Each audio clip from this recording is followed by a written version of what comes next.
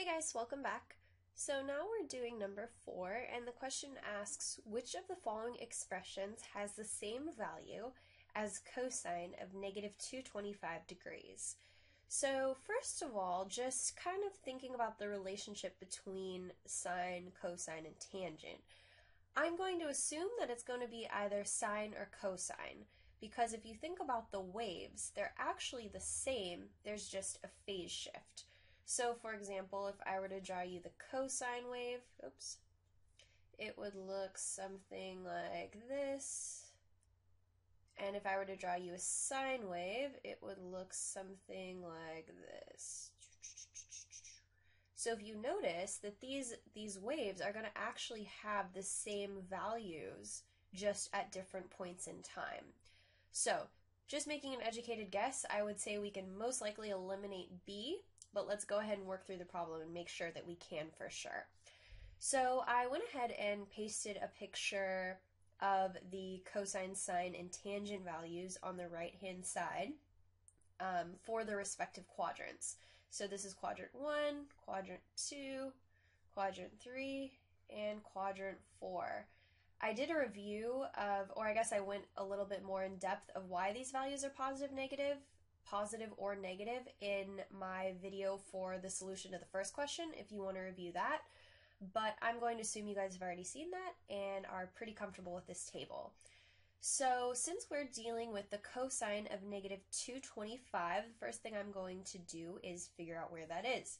So if this is 0 degrees, actually I'm going to use blue for this. So if this is 0 degrees here, this is going to be negative 90 degrees. This is going to be negative 180 degrees.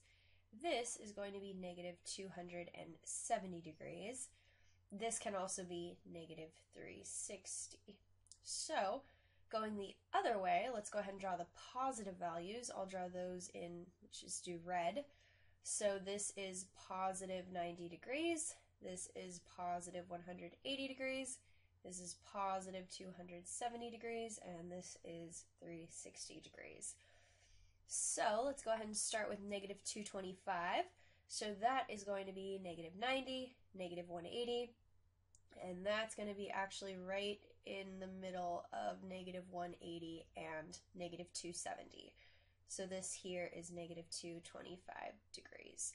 So in its positive form, what is that going to be? That is going to be 135 degrees.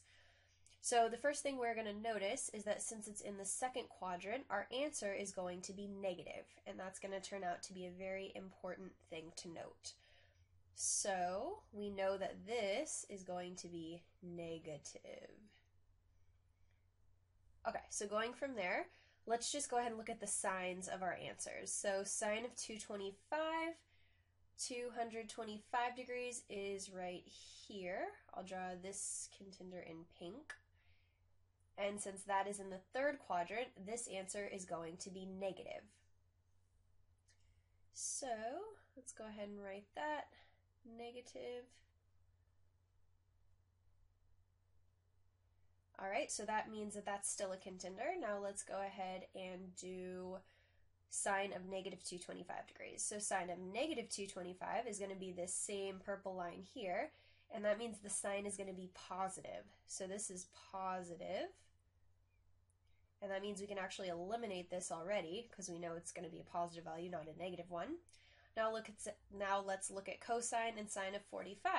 I will draw those in, let's do orange. So 45 degrees is going to be here, and again, since we're in the first quadrant, we're going to see that both cosine and sine are positive. So this is positive, we can cross that out. This is also going to be positive, so we can cross that out. So now we are basically left with the sine of 225 or the tangent of 135. And I am 99.9% sure it is not B, but I will go ahead and prove that to you by proving that the sine of 225 does in fact equal the cosine of negative 225.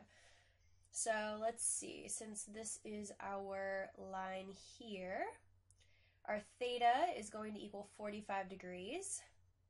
And that's going to mean if we draw this triangle, this is 1 since we're dealing with a unit circle.